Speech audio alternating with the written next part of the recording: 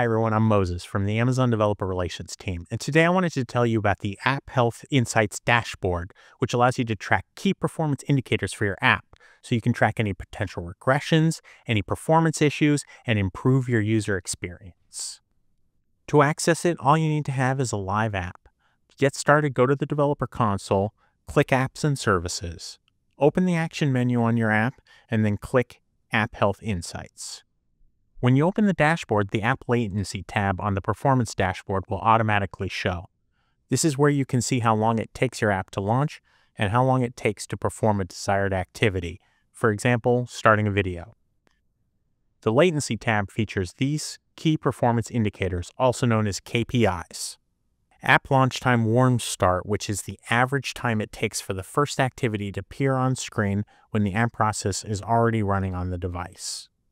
Then there's app launch time cold start, which is the average time it takes for the first activity to appear on screen when the app process is not running on the device and needs to be created. Next to that is ready to use, which is the average time it takes to fully draw an app activity. Ready to use will only be available if you've implemented the RTU metric. There will be a link to the documentation on the dashboard to do that if you haven't implemented it yet. Above those metrics, you can narrow your data by device, app version, and date range, which you can do on all the other KPIs that we'll go through as well. Below these metrics, you can view trend graphs, and you can also use these to compare versions. Next are the foreground low memory killer events, or LMEs.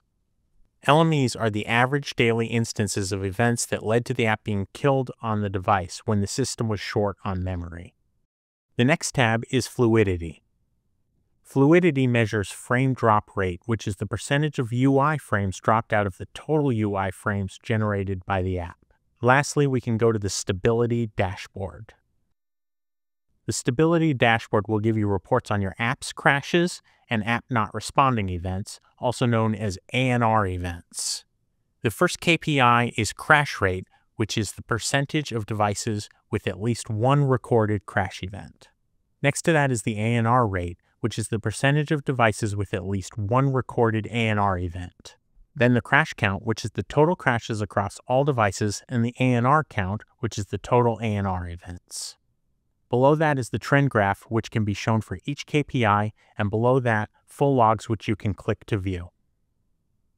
That's all there is to it. By using these reports, you'll always know if your app is running smoothly and providing a great experience for your customers. Let us know how it goes for you by using the community space or the contact us form. Thank you for watching.